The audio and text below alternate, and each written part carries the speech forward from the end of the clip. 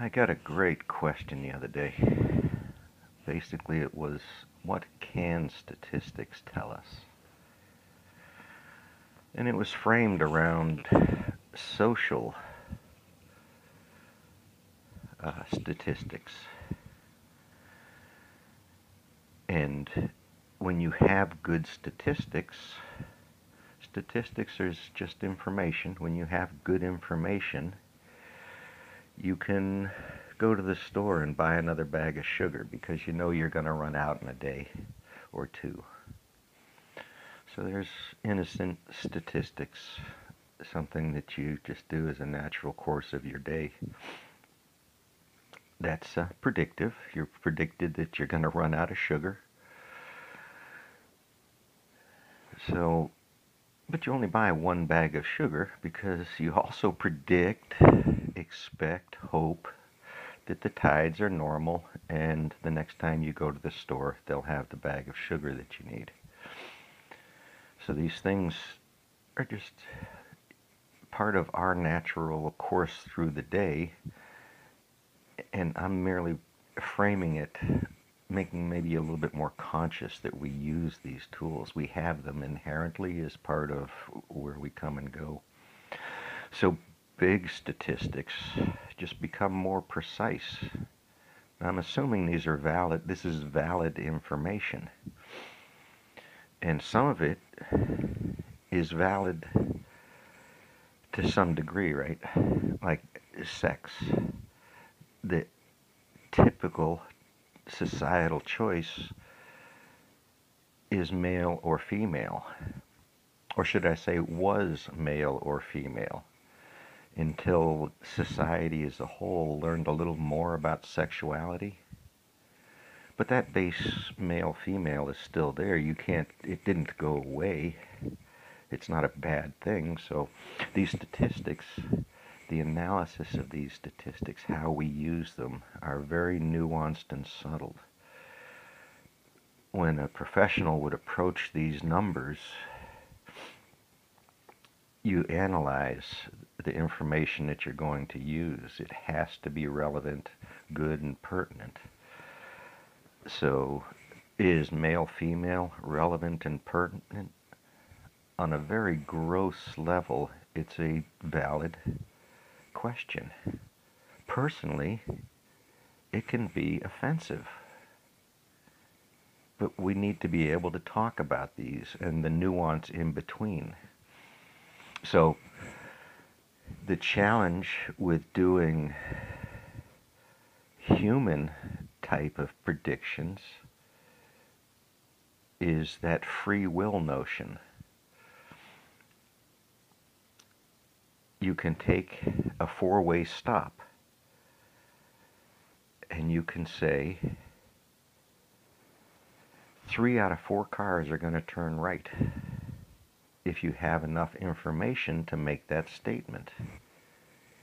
And if you're wrong, you had bad information. But you can only say that gross. The one car that comes to the intersection by itself you don't know which way it's going to turn. The next car that comes to the intersection, you don't know which, but you know when a hundred cars go by, about 75 of them are going to make a right turn. One of them's probably going to drive into the ditch or two because they're so that's the uh, that's the challenges when when presenting statistics is understanding them.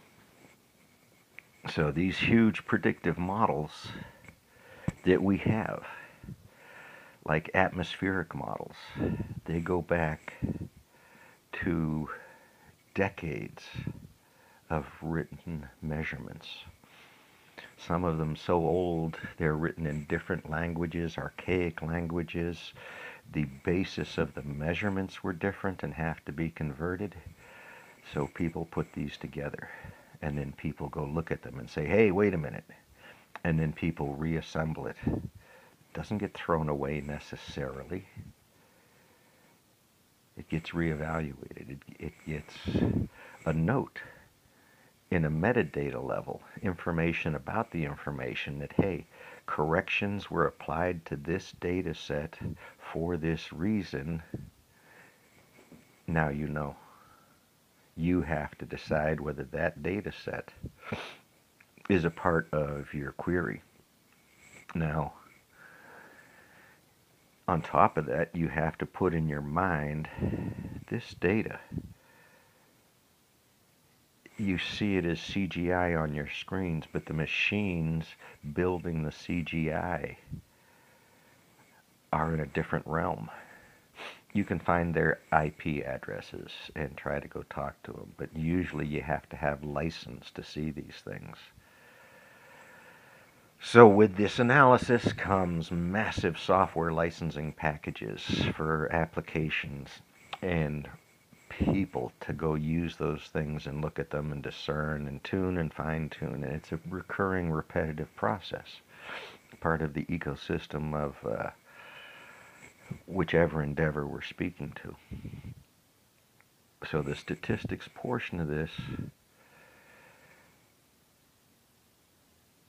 today trying to look at this virus, how it travels, where it travels, to understand the history of how all of these work, the transmission through droplets in the air, expelled from your lungs.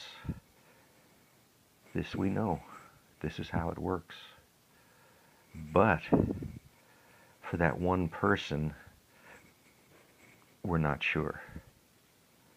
But over information gathering, good information gathering from good people with good hearts and good intents, trusted data sets, you get into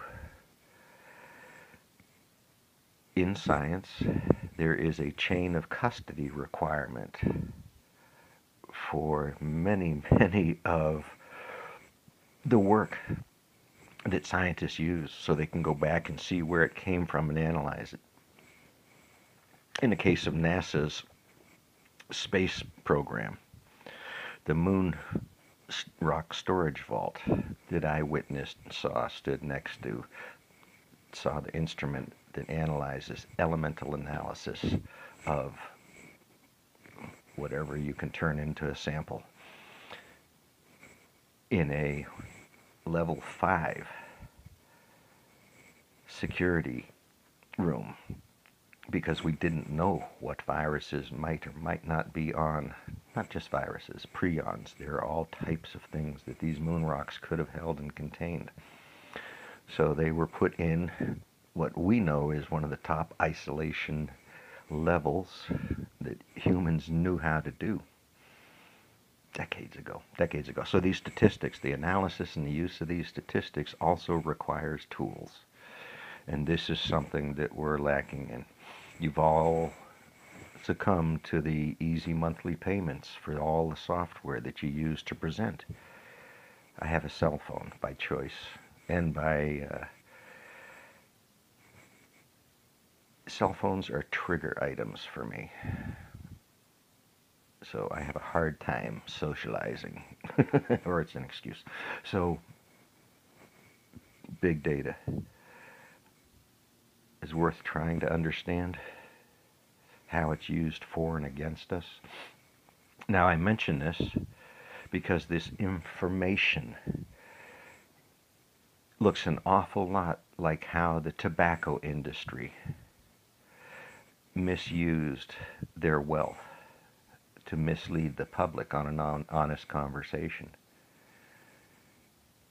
How the chemical industry used their wealth of information to guide the path of the EPA's actions on pollution, environmental pollution. This is people paid well to sit around and discuss and think and do these things for better or for worse, for good or for evil, for profit or wars. So we need to stop making their armies.